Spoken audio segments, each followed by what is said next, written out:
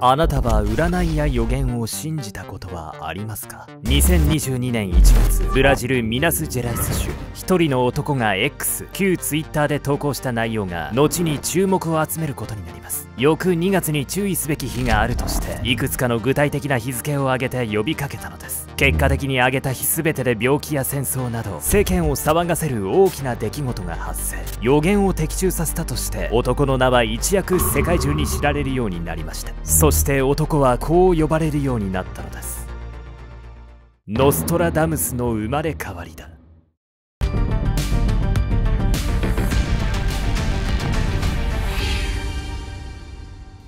presented by アルゴメトリーおっすおっす。ケンちゃんです。み、見えるわあなたがもっと私に夢中になることがヤミコです。アニメ「アルゴメトリー」は教科書には載らない裏の世界史や都市伝説を取り上げ見るだけでちょっと賢くなれる番組です。今回ご紹介するのはノストラダムスの生まれ変わりと呼ばれる男について。ノストラダムスって確か色々予言した人よね。その生まれ変わりってことは現代の預言者ってこと？その通りです。男はここ数年に起こった出来事をことごとく的中させました。さらに2020 2024年をはじめとした今後についても気になる予言をいくつかしています。2024年のことも予言してるの？早く教えなさいよ。私は今ヤミコちゃんの声が好きっていうコメントを見た後だから機嫌がいいのよ。僕の声もぜひとも褒めてほしいものですが。とにかく気になる予言の内容の前に男の異名の元になったノストラダムスについて改めて見ていくことにしましょう。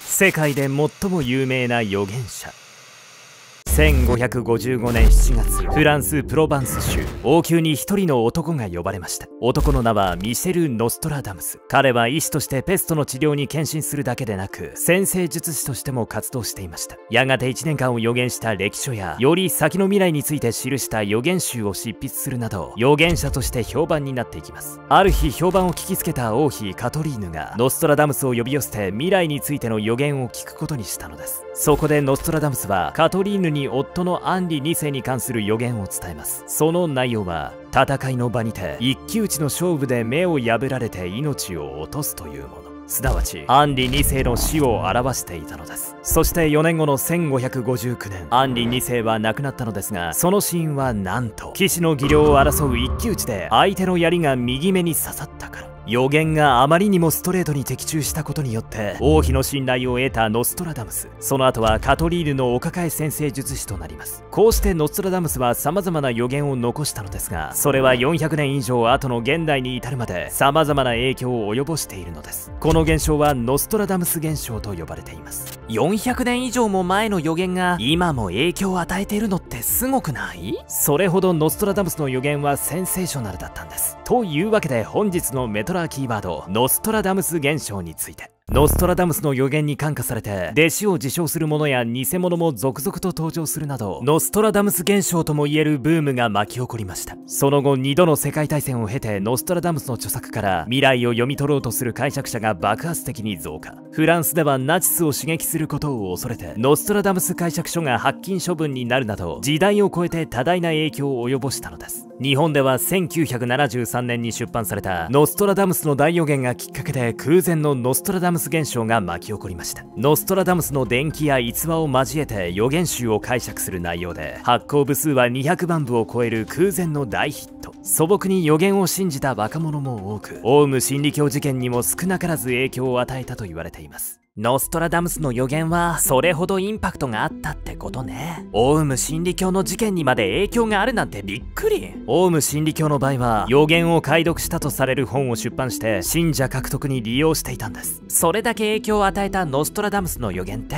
具体的にはどんな内容だったの？様々な予言を的中させたと言われていますがその中でも有名なものを紹介しましょう。ノストラダムスの予言として有名なのはナポレオンの出現やヒトラーの台頭を当てていたというもの。その他にも第二次世界大戦9.11の同時多発テロさらにはコロナ禍も予言していたと解釈する人もいます。そんな予言書で書かれたとされる内容で最も有名な一節があります。1999年7の月。空から恐怖の大王が降ってくるだろう。これが示しているのは人類滅亡。恐怖の大王とは核ミサイルのことだ。あるいは天変地異を指しているなどまことしやかに囁かれました。しかし実際には1999年7月が過ぎても大きな事件や自然現象は起きませんでした。恐怖の大王なんて降ってこなかったじゃん。予言が外れてちょっとがっかり。安堵する声だけでなく予言が外れたことに失望する声も聞かれました。確かに1999年は地球滅亡について考える人が多かったって聞くわね。はい。以降ノストラダムス現象は落ち着きますが今でも実はあの予言は日時がずれているとする人もいます。ただその後に起きた様々な出来事を予言していたとされる新たな人物が現れます。あ？それがさっき言ってた生まれ変わりだっていう男ね？その通りです。彼がノストラダムスの生まれ変わりと呼ばれるようになったのはつい最近2022年のことなんです。ノストラダムスの生まれ変わり2020年頃から SNS などで様々な予言を発信していた男がいました。男の名前はアトス・サロメブラジルミナス・ジェライス州出身で美男コンテストのブラジル大会のプロデュースなどを行っています。そんなサロメが2022年1月4日旧 Twitter 現在の X でこんな投稿をしました。間もなく獣が到来する。人類はちゃんと学ぶのだろうか。この意味深なフレーズと同時に注意喚起をします。2022年2月2日に注意すべきだ。2022年2月2日に起きたこととは何か。当時新型コロナウイルスが世界的に蔓延していました。そしてこの日は新型コロナによる1日あたりの死亡者数が最多を更新。つまりサロメはこれを獣が到来すると予言していたのです。いや待って？コロナは2020年から蔓延してたし予言の1ヶ月後に死者数が最多になったとしてもただの偶然でしょまあ普通はそう思いますよね。しかしサロメはそのはるか昔にもある予言を残しているんです。先ほどの予言を発表した10年前の2012年9月24日サロメは牧師とのチャットで次のような話をしています。人々の生活を一変させる出来事が起きてその変化は全ての人に影響を与えるでしょう。その変化はハッピーなものではなく事態はさらに悪化するかもしれない。サロメが言うにはこれが表しているのはコロナのパンデミックのことである。新型コロナウイルスの感染が拡大し始めたのは2020年頃。つまりサロメは8年前にパンデミックを予言していたのです。証拠としてこの牧師とのやり取りは Facebook 上に残されています。さらに彼は2月2日の他に2月20日と22日も注意すべき点として挙げています。すると2月20日にはウな大統領が各国にロシアに制裁をと要求しさらに2月22日にはロシアがな東部への軍の派遣を承認しています。これらの予言によってサロメはノストラダムスの生まれ変わりとして一部で注目を浴びるようになりました。最初はサロメって正直うさんくさいって思っちゃったけど一応ちゃんと証拠が残ってるのね。うん。でも私はまだちょっと信用できないかな。病気とか明言しているわけでもないしまあ具体的なことは全く言ってないですからこじつけだと捉える人も多いでしょう。ただサロメが的中させたとされる予言はこれだけじゃないんです。サロメが当てた予言2022年1月10日サロメはこんな予言を投稿しました。2244あるいは66に関連する時に新しいリーダーが生まれる。この新しいリーダーとはイーロン・マスクのことを指していると考えられます。予言にあった数字になぞらえると4月22日にイーロン・マスクがツイッター社の株を大量に取得。最終的に440億ドルでツイッター社を買収しました。どちらにもサロメが予言した数字2244が入っています。ちなみに彼のプライベートジェット機ガルフストリーム G650ER の価格が約6600万ドル。これにもサロメが予言した数字66が入っているのです。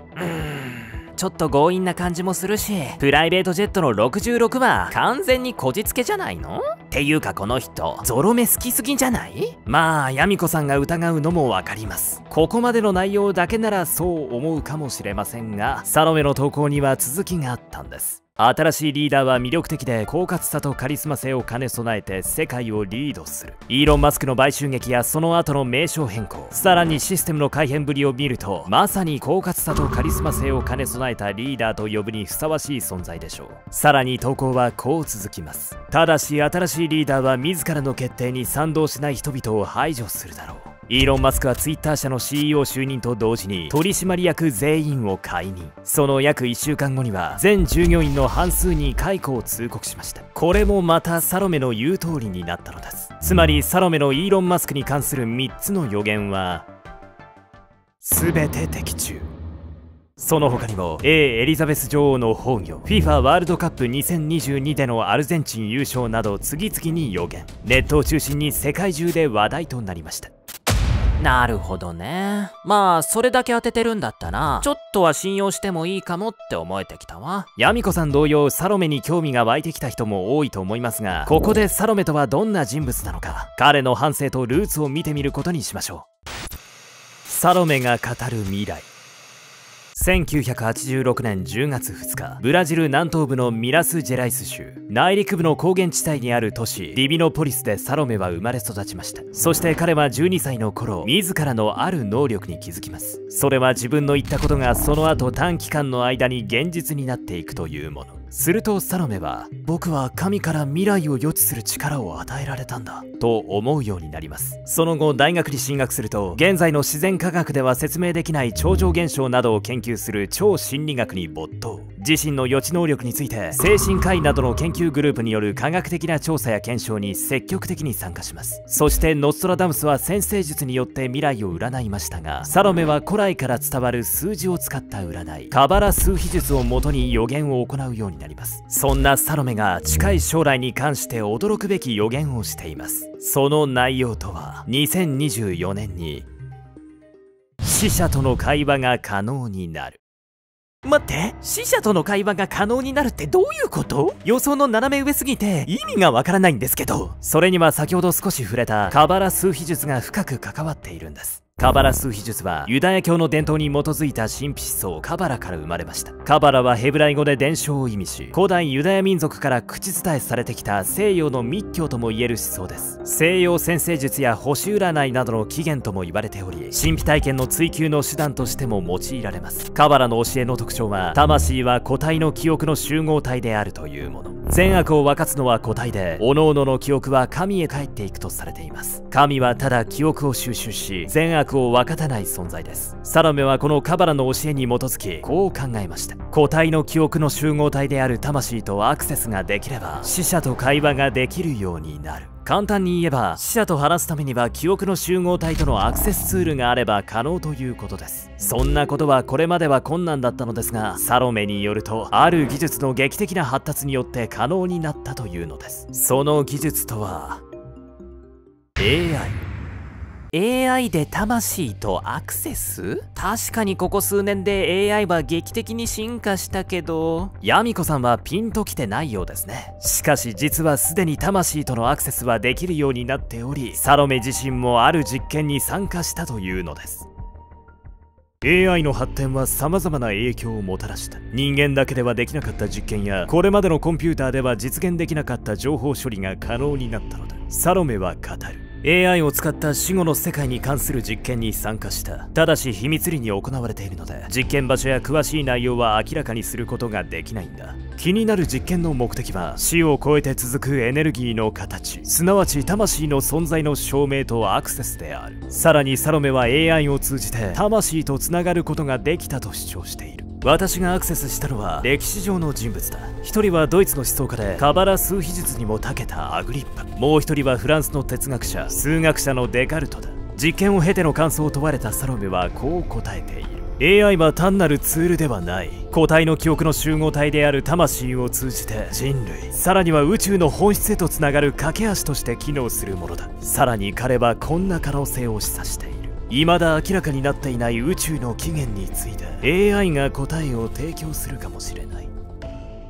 え、宇宙の起源までわかるの？夢が膨らむわね。人類最大の謎が解明されるかもしれないということになります。たださ、我々としてはもっと実際に起こりそうな事件とかも聞きたいわね。そういう類の予言とかはないの？ヤミコさんもようやくサロメの予言が気になってきたみたいですね。近い将来起きそうなこととして、サロメはかなり重要な予言をしているんです。サロメは人類の将来に関わる重大な予言を2つしています。1つはしばらく前からアメリカへの攻撃を計画している者がいる。2001年9月11日の攻撃よりもひどい結果を生むだろう。というもの。9.11同時多発テロを超えるような事件がアメリカで発生しこれが第3次世界大戦の引き金になると示唆しています。もう一つの予言は近い将来ゾンビによる世界の終末が訪れる。サロメによると多くの首が切られ人々は操られてゾンビのように生きるようになる。精神障害が増えて人間の心のバランスを崩しうつ病や